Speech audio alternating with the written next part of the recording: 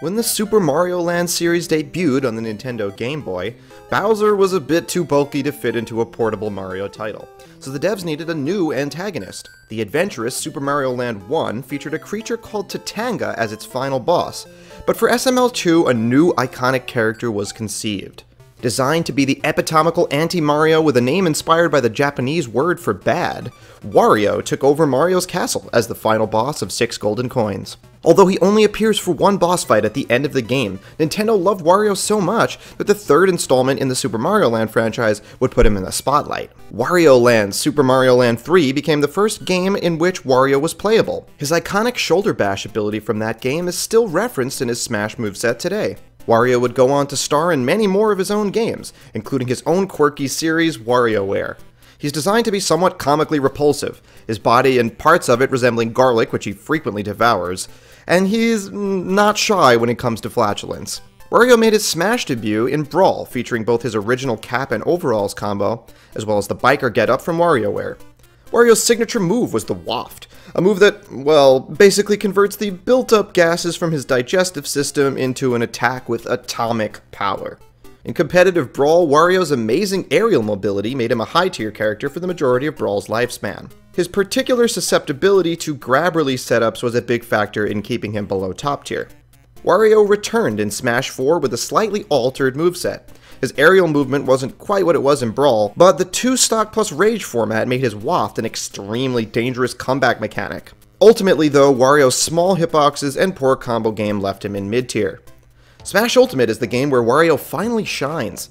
The universal reduction of landing lag coupled with a few small moveset tweaks have made Wario a serious threat since the early meta of Ultimate.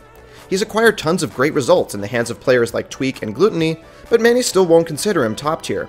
In this video, we'll be taking a deeper look at Smash Ultimate's Wario to see where he really belongs on the tier list. But first, our question of the day. What tier do you think Wario falls into? Let us know in the comments and be sure to stay tuned to see what we think. If you want to learn even more about Wario, you can check out our detailed guides on him and the entire cast on ProGuides.com. While you're there, you can gain instant access to coaches via our InstaPro platform, take advantage of advanced courses to learn more about the game, and even play with pros via our live streams. So let's start by taking a look at what makes Wario a strong enough character to win a major tournament like Glitch 8, and also why many players still rate a character with these results lower than top tier. Wario isn't particularly fast on the ground, but in the air he has the second fastest acceleration and a top 10 air speed. His movement still isn't quite as crazy as in Brawl, but this makes Wario an extremely maneuverable character in the air. This is perfect because Wario will want to spend a lot of time in the air anyway with his amazing set of aerial attacks. His neutral air is easily one of the best in the game, and I see you, Palutena. This move starts very quickly, coming out on frame 4. It has two hits which are active for 14 and 21 frames respectively, and it auto-cancels on the very first frame after the last hitbox ends. Landing before the auto-cancel window will only incur 7 frames of landing lag. Without even getting into the benefits of hitting someone with Wario's Nair, this move is already an extremely safe tool that can be used to anti-air, cross-up, zone, whiff punish, punish out of shield, and break combos. That's a pretty long list, but it doesn't even scratch the surface of what this move achieves on hit. At low percents, Wario's Nair is an amazing combo starter. The rising hit true combos into the falling hit, which can set up for multiple falling up airs or even another Nair. This infamous combo by Glutonny shows just how big one Nair can be for a top level Wario player. While it certainly offers the most combo potential at low percents, a landing Nair will also start combos for a large window, including kill confirms into back air and waft. Nair isn't Wario's only great aerial either. Forward air comes out only one frame slower at frame 5, acting as another great out of shield option and spacing tool. Fair can combo into a grab at low percents, and at higher percents can even kill confirm into dash attack. Next we have up air, the clap. This move has insane combo and juggling potential, especially aided by platforms. Up air is one of Wario's go-to starters for waft setups, comboing into his deadly trump card at mid percents. We might as well take this moment to talk more about Waft and why it's such a big deal for Wario. From the moment the game starts, or if Wario uses the Waft, it will begin charging. Over the course of the charge, this move has various stages of power. The half waft comes out the fastest at frame 5, already dealing over 20 damage with massive knockback. After approximately a minute and 50 seconds, the full waft will be charged. The full waft has super armor and a ridiculous amount of knockback, KOing at mid percents or lower. In Smash Ultimate, landing a waft is easier than ever. It can be as simple as an out of shield or whiff punish on laggy moves, a parry punish on safer moves, and there are multiple ways to combo into it.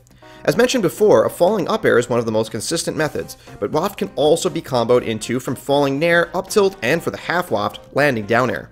Speaking of which, Wario's down air and back air are not quite as useful as his other aerials, but still have plenty of utility. Back air is a powerful kill option that can be confirmed into from a nair, and down air is surprisingly powerful off stage, great for edge guards thanks to its multiple hits. Wario's great aerials are a main part of his gameplay and his strongest attributes, but he has a variety of strong options for specific situations. His neutral special, Chomp, is a command grab that Wario can use to call out shields and trap opponents' ledge options.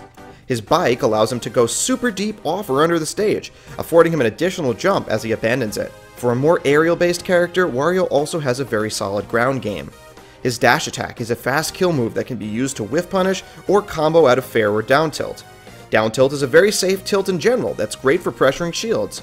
Wario's new forward tilt is yet another kill option, excellent for two-framing opponents or catching neutral get-up from ledge. As we mentioned before, his up tilt can combo into Waft, but it also acts as a great anti-aerial tool in general to catch jump-ins and start juggles. Now for the downsides. Like in other titles, Wario is severely lacking in range. The majority of his attacks have fairly small hitboxes and aren't disjointed. This is a big issue in a metagame where sword characters like Roy, Cloud, and Lucina are so common, and even characters with less prominent disjoints like Palutena will make it so difficult for him to get in. This problem is augmented by the fact that Wario gets the biggest reward off his Nair, which is one of his closest range aerials that requires him to be at point blank range for him to connect it. Additionally, Wario can struggle to close out stocks against opponents who use their shield wisely, as his throws offer little in the way of kills. We mentioned that his bike offers an augmentation to his recovery, but once he uses it, he'll have to wait a long time before he can spawn one again. During this time, his recovery is significantly worse, and can be edgeguarded pretty easily if he's sent out far enough. These weaknesses haven't stopped Tweek and Glutonny from winning huge tournaments with the character, however. Tweek has consistently been a top 5 ranked player, and does use multiple characters, but there's no denying the results he's gotten with Wario specifically. In addition to taking sets off of monster players with the character, Tweek has won multiple major tournaments using mostly, if not all, Wario. Glutonny is regarded unanimously as the best player in Europe, and unlike Tweek, he solo mains Wario. Gluto wins almost every major in Europe, and he's gotten multiple top 8 placings at the US majors as well, even placing third at EVO. Japan also sees Wario as a very strong character, with many of their best players such as Abadango, Kameme, and Yetono using him. Pretty much anywhere you look, good Wario players are getting good results. Overall, Wario is a character with excellent aerial mobility that he can use to unleash his toolkit of safe aerials to start hefty combos. He possesses one of the best comeback mechanics in the game with his waft, meaning you can never count him out of the game and he can force approaches from his opponents. His lack of range and disjoints makes it difficult for him to close in on some characters, but his outstanding results and widespread use among top players proves his legitimate viability. Taking all this into consideration, we have to put Wario into top tier. Many other top tier characters are only represented by one player at top level, but Wario mains continue to get big results all around the world.